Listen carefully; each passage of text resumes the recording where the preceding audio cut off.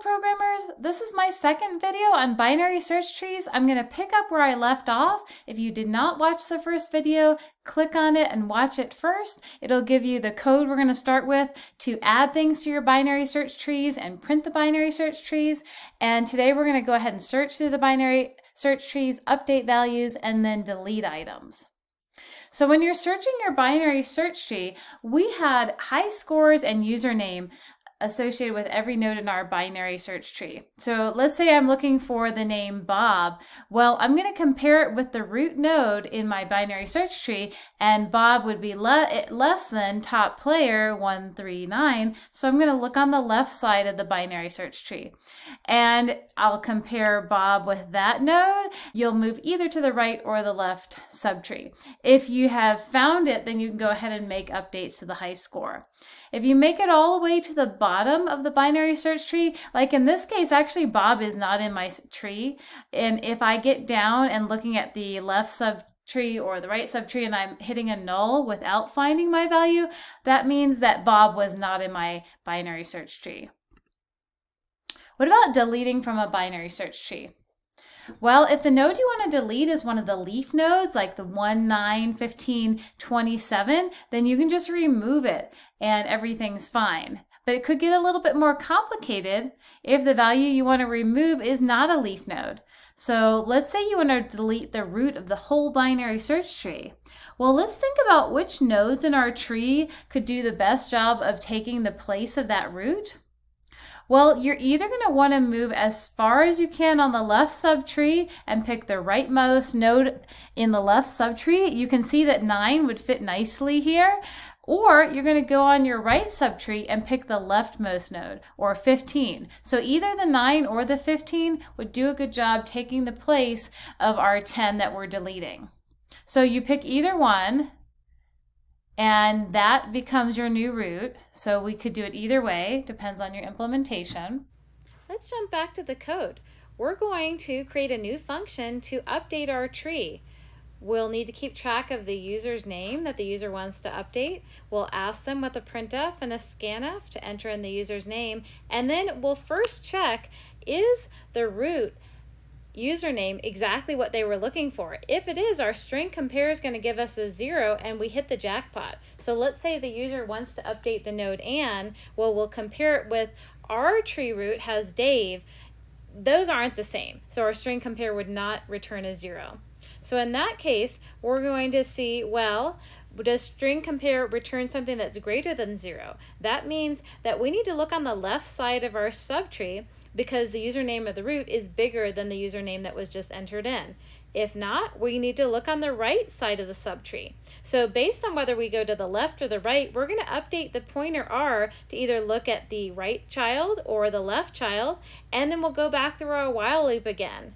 The fourth option is that the username doesn't exist. So if we make it all the way through the while and we end up looking at a null pointer, that means that we're at the very bottom of our binary search tree and we have not yet found the name the user was looking for. So they entered something that wasn't in the binary search tree. We talked about two ways to figure out what will replace whatever you're deleting from the binary search tree. We talked about you could either pick the rightmost node from your left subtree or the leftmost node from your right subtree uh, when you're talking about deleting something. I'm going to call a function called find min, and even though the argument to this function is called root, it's going to be really like the root of one of the subtrees. And I'm going to pick the root of the right subtree, whatever is to the right of the node I want to delete. I'm going to figure out, follow the left child from that right subtree and figure out the smallest of the left children. And that'll become the minimum item that I can use. That'll be my new root. Let's also make a new function called delete, and this one will pass in a root to either the whole binary search tree or a subtree, and then the username that we're looking to delete. If the root is null, that means that the user is not found in that subtree or the entire tree that we're looking at right now. Either it's a whole empty binary search tree or we're looking at a subtree that's empty.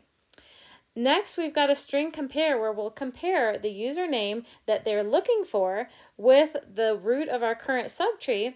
If it's less than zero that we're getting back, that means we need to try on the left subtree. So we'll recursively call delete using the left child and the username that we're trying to delete.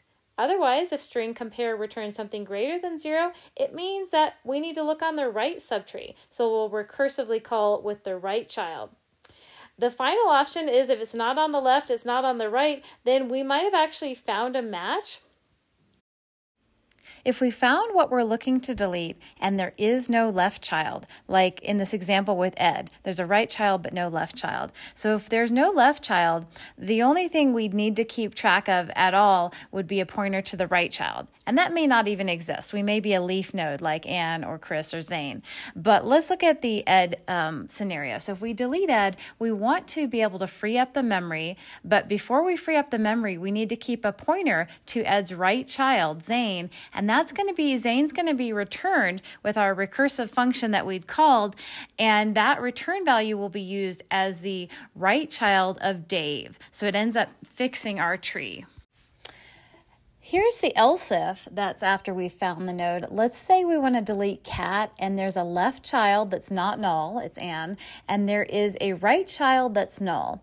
So in this case, we before we delete cat and free that memory, we need to save a pointer to the left child. We need a pointer to Anne so that can be returned and originally when we had called that delete function recursively, we wanted to save the new left child for Dave as the result of our new call to the delete function. So this will end up updating Dave's left child so it will be pointing to Anne and we haven't lost that child. There's one more case to consider. Let's say we want to delete something that has both a right and a left child, like Dave. So in this final else, where the node has two children, we want to use that function find min, which we decided would just use the right subtree and figure out the leftmost node. So the minimum node on the right subtree.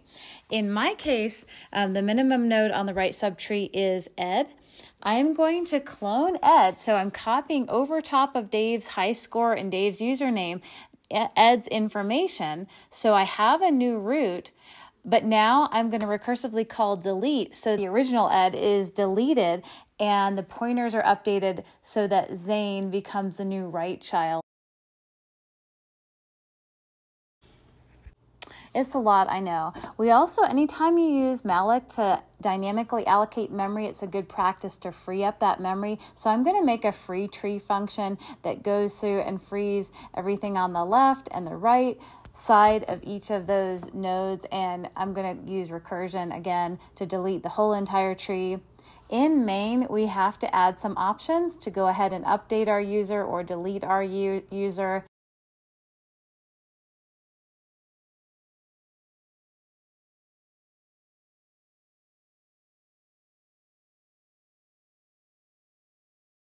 And finally, at the end of main, I want to free all that memory with the free tree function.